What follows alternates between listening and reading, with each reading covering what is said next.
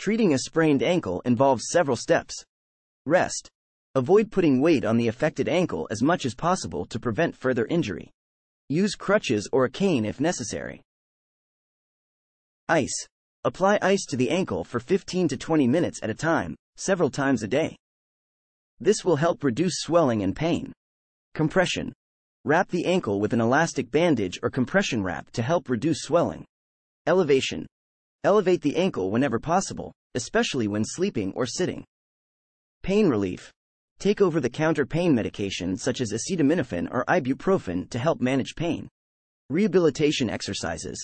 Once the initial pain and swelling have subsided, perform exercises to help improve the range of motion and strengthen the muscles around the ankle. If the sprain is severe or if you experience persistent pain or difficulty walking, you should seek medical attention from a doctor. They may recommend additional treatments such as immobilization with a splint or physical therapy to aid recovery. Thanks for watching.